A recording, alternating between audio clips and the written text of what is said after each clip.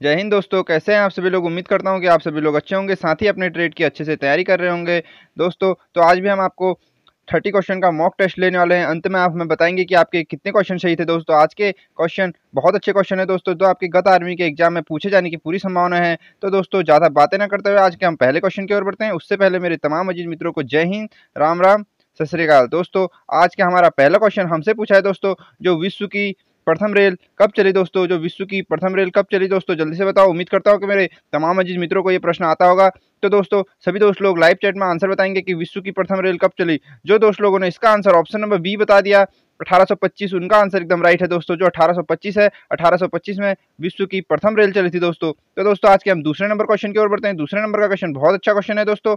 दोस्तों, दूसरे नंबर का क्वेश्चन हमसे पूछा है दोस्तों, भारत के किस राज्य में सबसे अधिक रेलवे लाइन है दोस्तों? जल्दी से बताओ, भारत के कौन से राज्य में सबसे अधिक रेलवे लाइन है? उम्मीद करता हूँ कि मेरे तमाम अजीत मित्रों को ये प्रश्न आता होगा। सभी मित्र लोग लाइव चैट में आंसर देंगे। तो दोस्तों, जल्दी से बताओ, जो दोस्त लोग इसका आंसर ऑप्शन नंबर ए बता रहे हैं, उनका आंसर एकदम राइट है दोस्तों, जो उत्तर प्रदेश में है।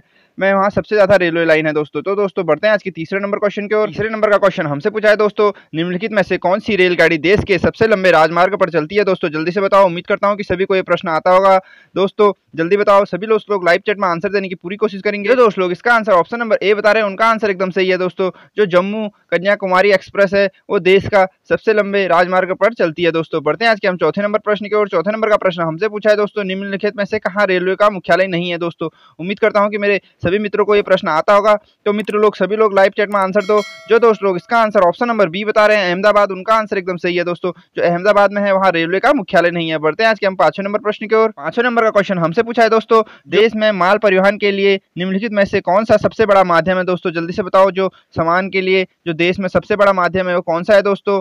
वायु, वायुसेना है या रेलवे है बस है नौ परिवहन सेवा है दोस्तों जल्दी से बताओ। जो दोस्त लोग इसका आंसर ऑप्शन नंबर बी बता रहे हैं उनका आंसर एकदम राइट है दोस्तों। देश में जो सबसे बड़ा माल परिवहन का वो है वो रेलवे लाइन है दोस्तों। बढ़ते हैं आज के हम छठे नंबर प्रश्न की ओर। छठे नंबर का प्रश्न दोस्तों हमसे पूछा है दोस्तों भारत में प्रथम विद्युत ट्रेन कब चली दोस्तों? उम्मीद करता हूँ कि मेरे तमाम अज़ीज़ मित्रों को ये प्रश्न आता होगा। तो दोस्तों बताओ जो प्रथम भारतीय विद्युत ट्रेन चली वो कब चली दोस्तों? जो इसका आंसर ऑप्शन नंबर ए बता रहे हैं वो एकदम राइट है दोस्तों। 1925 में प्रथम विद्युत ट्रेन चली थी दोस्तों। बढ़ते हैं आज के हम सातवें नंबर प्रश्न की ओर। सातवें नंबर का प्रश्न बहुत अच्छा पूछा है दोस्तों। सातवें नंबर का प्रश्न हमसे पूछा है दोस्तों। भारत और पाकिस्तान के बीच चलने वाली रेलगाड़ी का नाम बताओ। उम्मीद करता हूँ कि मेरे तमाम अज़ीज़ मित्रों को ये प्रश्न आता होगा। तो दोस्तों बताओ, भारत और पाकिस्तान के बीच चलने वाली रेलगाड़ी का नाम क्या है दोस्तों? उम्मीद करता हूँ कि आता होगा दोस्तों तो जल्दी से बताओ। जो दोस्त लोगों ने इसका आंसर ऑप्शन नंबर बी बता दिया, उनका आंसर एकदम सही है दोस्तों, जो बता रहे हैं। सदाए सरहद। उनका आंसर एकदम सही है दोस्तों। भारत और पाकिस्तान के बीच जो रेलगाड़ी चलती है, उसे सराय, सदाए सरहद कहते हैं दोस्तों। बढ़ते हैं हम आज के आठवें नंबर प्रश्न की ओर। आठवें नंबर का प्रश्न बहुत अच्छा पूछा है दोस्तों। ये मेरे तमाम अज़ीज़ मित्रों को आता होगा तो दोस्तों बताओ कंप्यूटर का आविष्कार किसने किया दोस्तों? जल्दी से बताओ कंप्यूटर का आविष्कार किसने किया?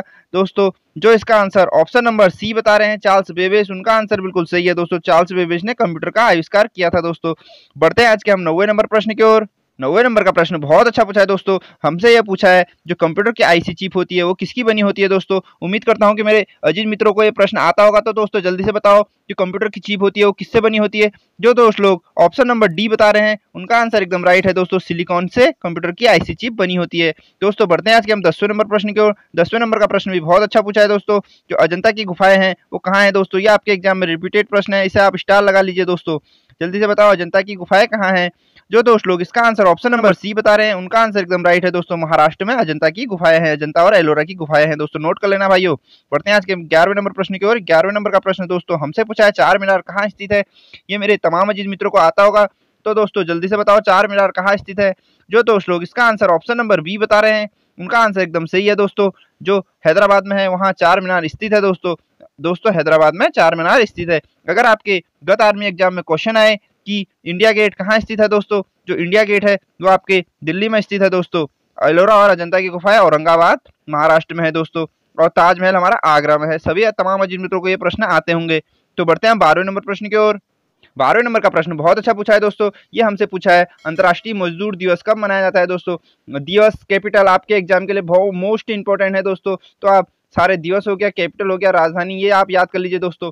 दोस्तों, जल्दी से बताओ कि मजदूर दिवस कब मनाया जाता है? जो दोस्त लोगों ने इसका आंसर ऑप्शन नंबर डी बता दिया, उनका आंसर एकदम सही है दोस्तों। जो एक मई को होता है, वो मजदूर दिवस मनाया जाता है। तो दोस्तों, बढ़ते हैं आज के हम तेरहवें नंबर प्रश्न की ओर। तेरहवें नंबर का प्रश्न दोस्तों, बहुत अच्छा पूछा है। ये पूछा है, भारत की सबसे ऊँची मीनार कौन सी है दोस्तों? सभी तमाम अज़ीज़ मित्रों को यह प्रश्न आता होगा। तो सब दोस्त लोग इसका आंसर ऑप्शन नंबर बी बता रहे हैं, उनका आंसर बिल्कुल सही है दोस्तों, जो कुतुब मीनार है। वो भारत की सबसे ऊँची मीनार है दोस्तों। बढ़ते हैं आज के हम। चौदह नंबर प्रश्न की ओर। चौदह नंबर का प्रश्न भी बहुत अच्छा पूछा है दोस्तों। ये पूछा है, भारत का सबसे लंबा बात कौन सा है दोस्तों? बताओ दोस्तों। लाइव चैट में सभी दोस्त लोग इसका आंसर देंगे। भारत का सबसे लंबा बात कौन सा है दोस्तों? जो दोस्त लोग इसका answer option number C Hirakud बात बता रहे हैं, उनका आंसर एकदम राइट है दोस्तों। ये भारत का सबसे लंबा बाद है। बढ़ते हैं। आज के पंद्रहवें नंबर प्रश्न की ओर। पंद्रहवें नंबर का प्रश्न भी बहुत अच्छा पूछा है दोस्तों। सुभाष चंद्र बोस ने सिंगापुर में दिल्ली चलो का नारा कब दिया था दोस्तों? सुभाष चंद्र बोस ने सिंगापुर में दिल्ली चलो का नारा कब दिया था दोस्तों? उम्मीद है कि मेरे तमाम अज़ीज़ मित्रों को यह प्रश्न आता होगा। तो सभी दोस्त लोग इसका आंसर जल्दी से बताएँगे। जो दोस्त लोगों ने ऑप्शन नंबर बी बता दिया, उनका आंसर एकदम राइट है दोस्तों। दोस्तों, इसकी डेट भी आप याद कर लीजिए। जो ये नारा दिया था दोस्तों, ये दिया था पाँच जुलाई।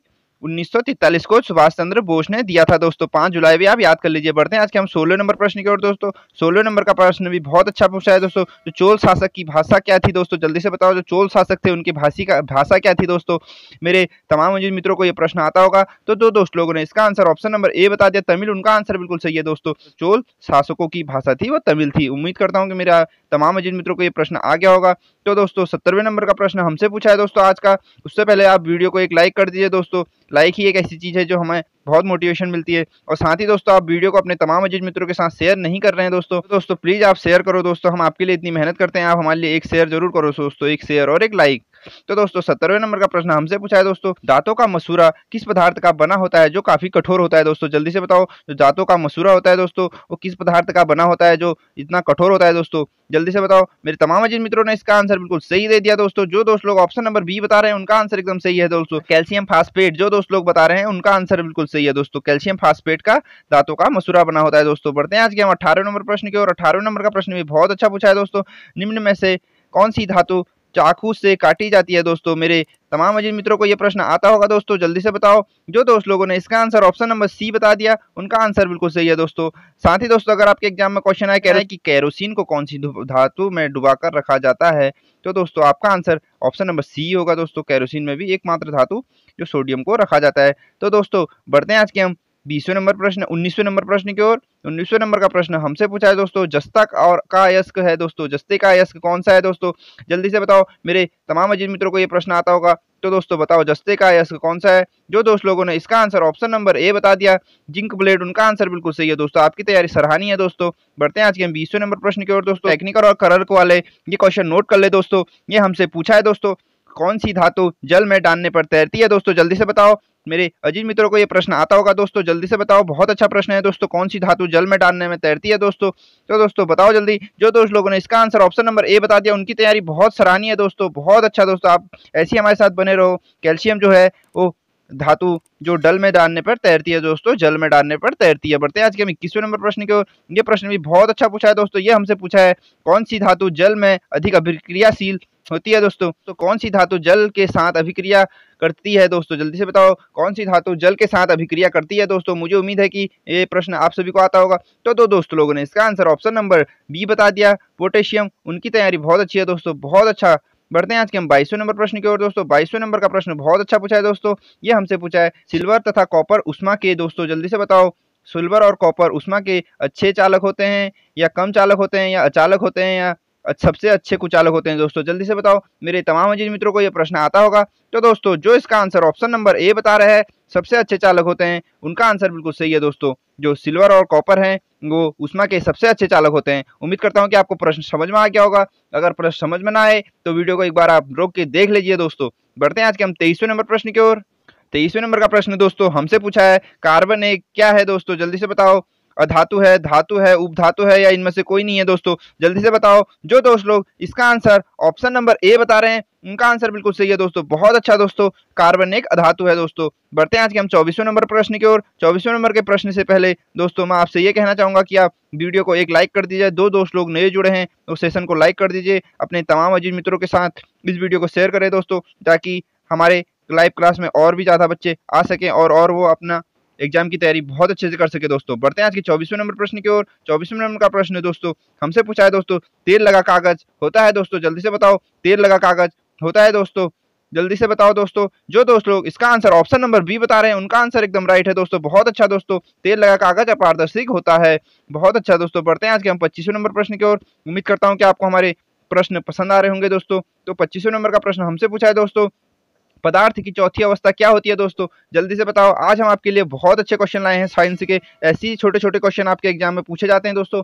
जल्दी से बताओ, पदार्थ की चौथी अवस्था क्या है? उम्मीद करता हूँ कि सभी दोस्तों को ये प्रश्न आता होगा। बहुत अच्छा दोस्तों, सभी लोगों ने इसका लगभग सही आंसर बता दिया। पदार्थ की चौथी अवस्था प्लाज्मा होती है दोस्तों। बहुत अच्छा। बढ़ते हैं आज के हम छब्बीसों नंबर प्रश्न की और छब्बीसवें नंबर का प्रश्न भी बहुत अच्छा है दोस्तों। ये प्रश्न हमसे पूछा है, इलेक्ट्रॉन की खोज किसने की दोस्तों? जल्दी से बताओ। इलेक्ट्रॉन की खोज किसने की? उम्मीद करता हूँ कि मेरे तमाम अज़ीज़ मित्रों को ये प्रश्न आता होगा। जो दोस्त लोगों ने इसका आंसर ऑप्शन नंबर बी बता दिया, उनका आंसर एकदम सही है दोस्तों। इलेक्ट्रॉन की खोज थॉमस ने की थी। बढ़ते हैं आज के सत्ताईसवें नंबर प्रश्न की ओर। सत्ताईसवें नंबर का प्रश्न भी बहुत अच्छा है दोस्तों। सत्ताईसवें नंबर का प्रश्न सभी दोस्त लोग लाइव चैट में आंसर देंगे, तब तक मैं आपसे एक चीज़ बोलता हूँ।